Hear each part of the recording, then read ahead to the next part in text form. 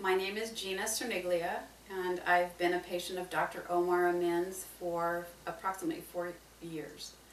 And um, I was diagnosed with Morgellons in May of 2010 and went through a protocol of his to get better, and it was a process, kind of an up and down process as I found out what I was allergic to, what was making me feel sick, and how I was going to get well.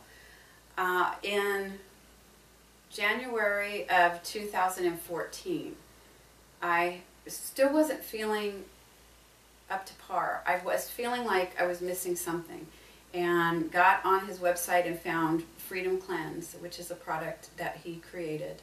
It's formulated for the removal of parasites and I began to take it. I took a three month stint of it, and within three days, I started to feel almost like hairs in my throat, a hairy feeling, and um, I had a whitish discharge from my nose when I blow it. That was years, and I never thought much about it. It was just kind of like I thought allergies.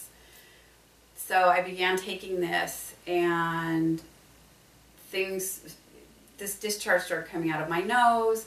This crawling kind of got a little bit more obvious to me and then it finally disappeared. And that was about two weeks into taking this. And i stayed on it for 90 days and um, it was amazing. I could breathe again i could breathe out of my nose uh, the swelling around my eyes went down the swelling in my face went down actually the itching and stuffiness in my ears went down and I feel like that was one of the missing links to my recovery is that I also probably had parasites that were you know living in my compromised immune system and I love that product.